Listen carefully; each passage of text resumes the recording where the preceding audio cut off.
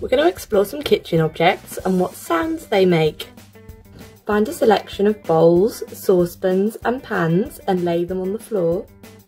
You can use a spoon, a spatula, a whisk, any kind of kitchen utensil to start hitting them on the bottoms with and see what sounds they make. Try turning them over so they're the right way round and using a spoon to wiggle inside of them. Offer an older baby who can sit a choice of different objects that they can use to hit the pans with. Younger babies can lay down and explore the item above them while an adult holds it for them. This will help develop hand-eye coordination as baby tries to move the item to hit the pan.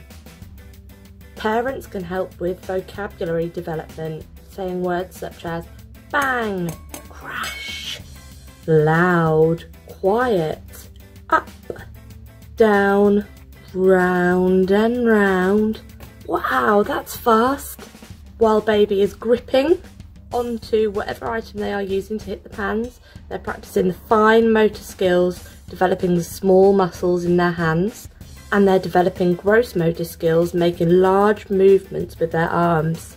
Lots of parental praise throughout will help develop baby's self-esteem. You can practice turn taking. Parent can hit the pan, then baby can hit the pan. This is a great opportunity to have some one-to-one -one playtime with baby and they'll gain confidence to try new things with your support.